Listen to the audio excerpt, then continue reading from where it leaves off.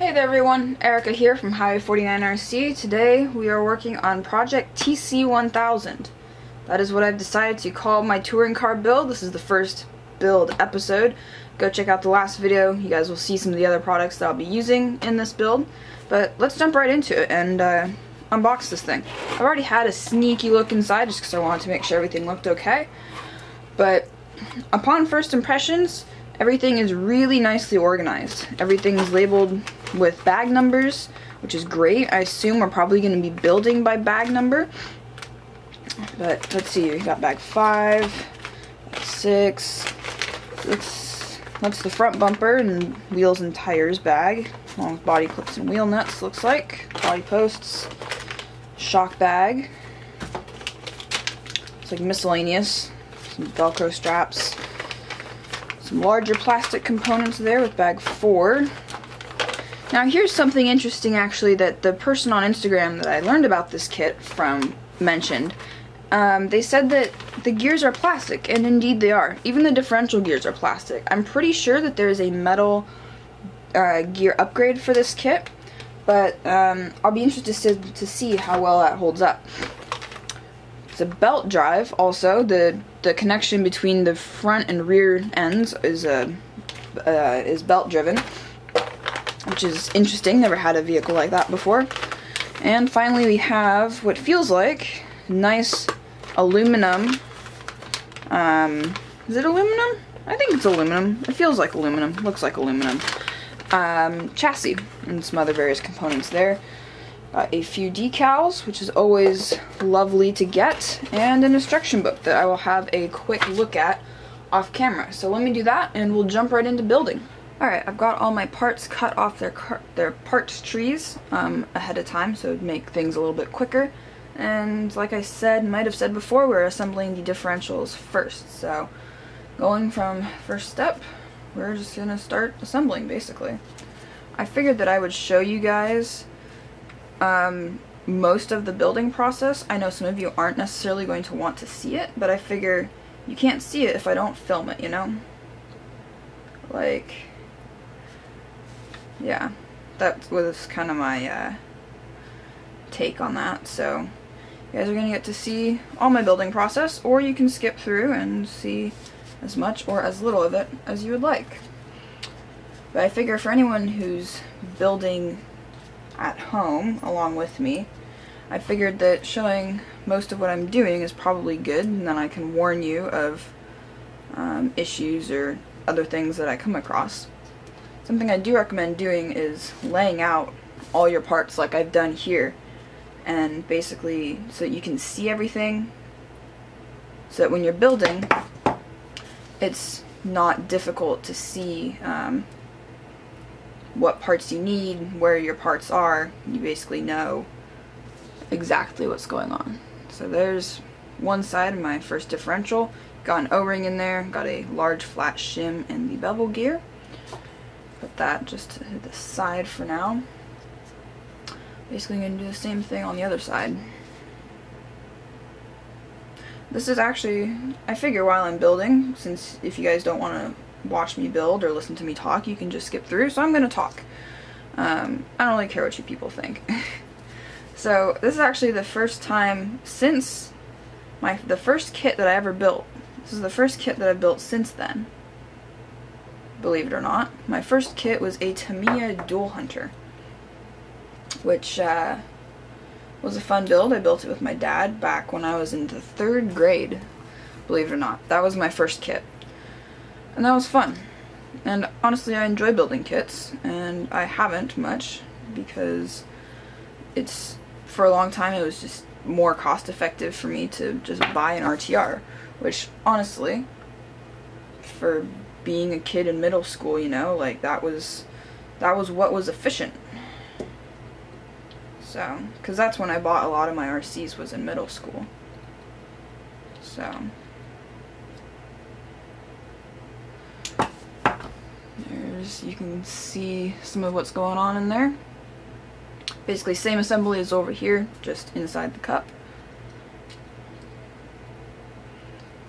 Bevel gears on there. Now, let's see, looks like it wants this O-ring. Mm, doesn't say to oil it, so I will not. Okay. Slide that on. Without it popping off and flying across the room, of course. I'm really grateful that they supplied you with some 2000 weight diff oil. Because I don't think I have any that low, honestly. And to be honest, the quality of this kit, from what I can see, like the person said, is indeed quite nice. All the parts, um, the molds are actually are what I'm probably most impressed with. Um, the plastic molding is really, really nice. So if you get this kit, I definitely recommend it. It's a good quality. Okay. Put that down. And now we can assemble, let's see, the little cross here.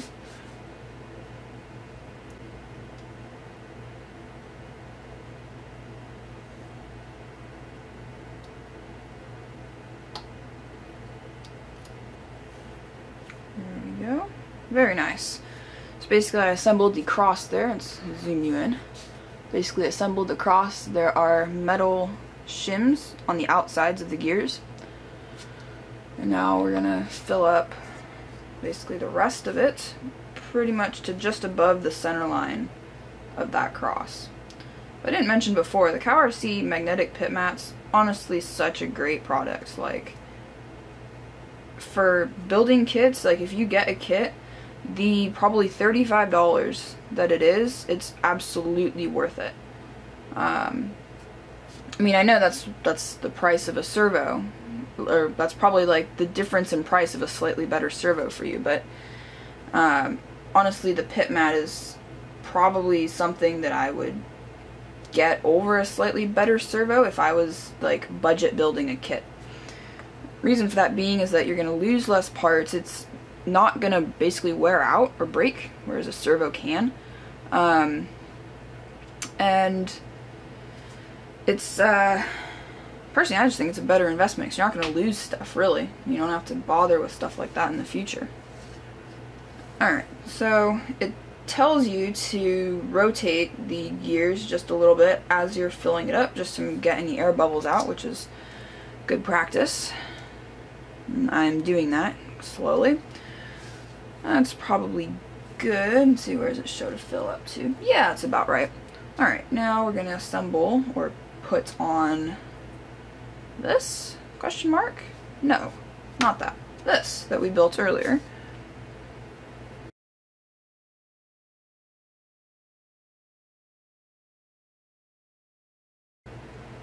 Without dropping anything off. There are notches that you have to line up on it. And finally, we're going to just cinch it down with some of these little uh, countersunk flathead screws.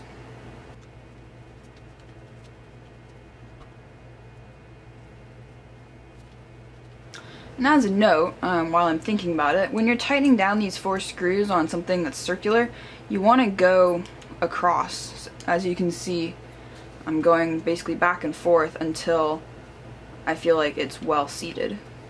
That's just general practice for pretty much anything. If you're doing bead locks or um, doing like diff cups like this, it's like, it's not 100% important, but it's still important. Like you don't want to tighten it down too much on one side and get something like seated wrong. Um, so I mean that in that sense it's important. I'm not sure how tight these are supposed to be, but for the size of the screws and the fact that there's a gasket underneath there, just kind of going by feel. And looking at the gap, there's this tiny gap. You cannot really see it between this piece and this piece. There's a little gap right in there. Sorry, it's a little out of shot. Uh, I'm just kind of going off of that and snugging it down. But I'd say that's good. And diff feels nice and smooth. Yeah, nice and smooth. Very nice. Beautiful. Alright, moving on get to flip the page. Next thing we get to do, actually, still with this, is grab two of these bigger bearings. Bearings basically just slide on. Bearings feel good as well.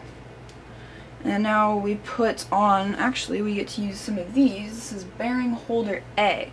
Now these guys, there's a holder labeled A, or there's a pair of holders labeled A and a pair of holders labeled B. And they're not, the circles are not concentric. And what that leads me to believe is that this is actually a type of, um, a type of what? Belt tensioner that's my, my theory, my grand theory. So this is A. A goes on this guy. Um, there's two A's. That's B. This is the other A. And it tells you in the, in the instructions that that's how it's supposed to be. So you've got these two basically bearing holders that go on either side. And I believe that that's going to be a cam mechanism for tightening up the belt. Maybe. It's a theory. But that part is now done. So on this guy, there's a little cap on the top of that belt pulley, and those caps apparently are supposed to come off, but it feels like they're already attached, so don't actually need any CA there. Good thing for me because I actually don't have any CA right now. I've used it all. Uh, oh, actually, that's not true. I have a little bit up there. Alright, this is, looks pretty straightforward. Ooh, tiny little bearings. Look at those little guys. Yeah, they're so cute. Shove those guys in there. And grab our spur gear. And there are little tabs, little nubbins on the these drive plates um, that basically fit into the holes on either side of the spur gear, which is very nice. Ah, I see. You put two in from one side. Ah, I see. I see. So, these two are not countersunk, these two holes. Try and get in the, there you go, there's a good view. Those two holes, you can even zoom in a little bit more. Those two are not countersunk, therefore the screws come from the other side. And those two holes are countersunk, so that means they go in that way. Very interesting, and actually I have them set incorrectly, so let's quickly fix that. Rotate one side 90 degrees. And we can drop these itty bitty little screws in. Oh my goodness.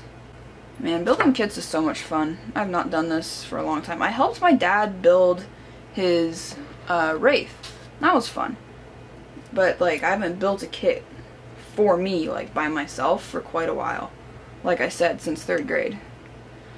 Which was, um, how many years ago now? Let's see. 12, Hmm. Let me try and think here.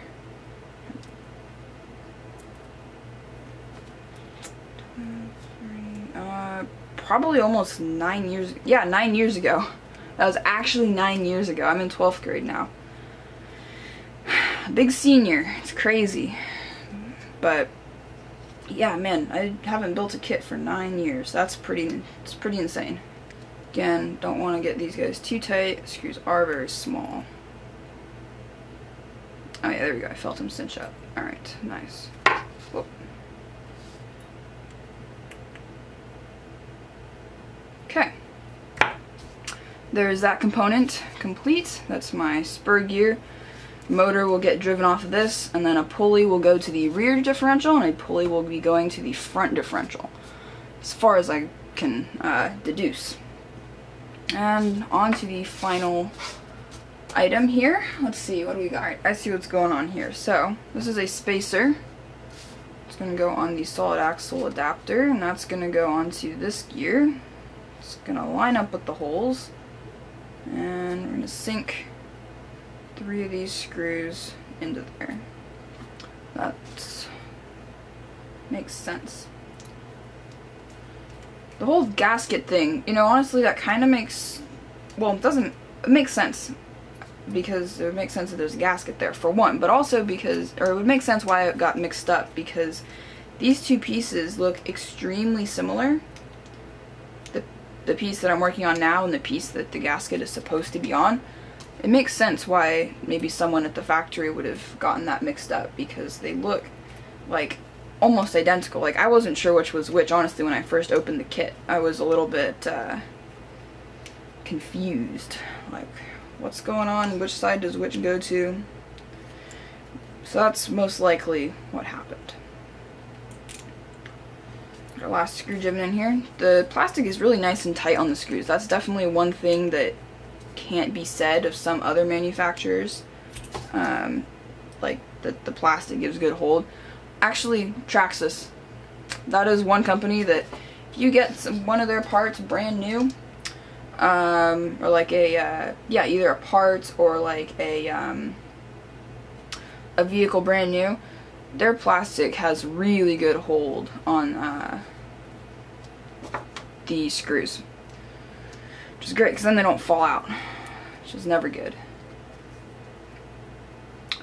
Put our bearing caps on either side and stick these guys in here. We got to make sure that when we're doing this, our uh, the, like the little crosses in the drive cups are aligned on both sides. That's definitely an important thing to make note of. Yep, alright, lined up. And basically just run two screws into the ends, these long guys. So just screw them in. Cinched up. One more. Very nice. That is our last component completed. Now I'm gonna go and address this thing, get that sorted out off camera. There you have it. There are the three basically drivetrain, central drivetrain components completed. We have a probably rear diff. Eh, no, that's probably a front diff. This is probably the rear solid axle uh, belt driven like pulley uh, assembly and then we have our center spur gear and pulley drive assembly there. I did sort this guy out it was missing the gasket, as it said in the instructions, it needed one. Of course, I did not pay attention to that, but that is fine. Basically, just took it apart, wiped off a little bit of excess oil, put the gasket on, reassembled, and that was it. So, thank you all so much for tagging along with me on this build video. Next episode looks like we're going to be tackling the chassis and suspension, so that's going to be a whole heck of a lot of fun. So, if you're excited for that, make sure you subscribe, click that notification bell. Also leave a like on this video if you enjoyed seeing me start to put together this 3 Racing Sakura XI Sport kit. And follow me on Instagram at Highway49RC. And uh, that's it for me. I've had a great time building today. Thanks for watching, and I'll see y'all next time.